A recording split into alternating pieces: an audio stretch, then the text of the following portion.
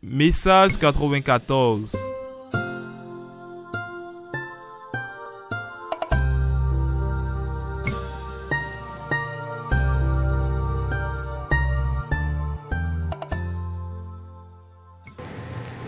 Est-ce que vous n'avez pas le sentiment qu'il y a quelque chose de d'opaque C'est-à-dire, on dit les choses superficiellement, mais on ne dit pas, on ne révèle pas les profondeurs réelles des choses. Et c'est évident, vous avez bien envie de devenir prêtre, romain ou réformé.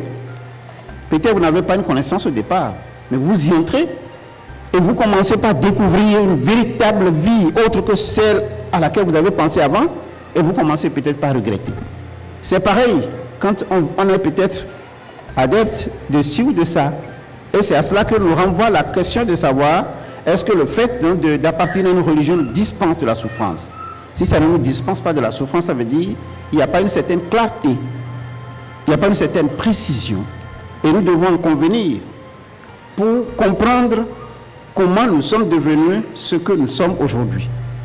Et tant qu'on n'arrive pas à appréhender ça, on va être toujours tel qu'on est. Alors je constate ça avec vous, que la religion, je note une certaine opacité, je note euh, un peu comme une certaine intolérance et une certaine crédulité. La crédulité, c'est que je crois. Intolérance, parce que, bon, tout ce que j'ai entendu, on dit il ne faut pas aller voir le médecin. Ça veut dire donc qu'il faut un bannissement des autres corps Tant que vous êtes là, les autres n'existent pas pour vous. Donc c'est une forme d'intolérance.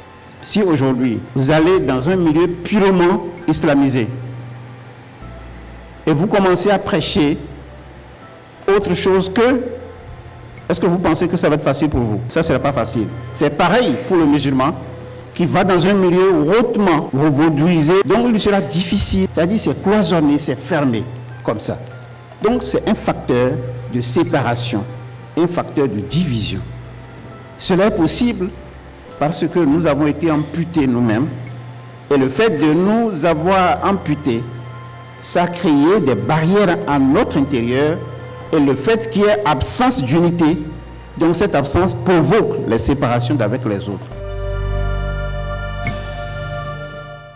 C'était Maître Maouyan Justin Dombaoundé, sociologue de l'éducation, métaphysicien, grand initié aux lois et secrets de la vie, directeur fondateur de l'Institut spécialisé en éveil du potentiel et maîtrise de la destinée ISEP. Dans son message numéro 94 aux hommes et femmes qui peuplent la Terre,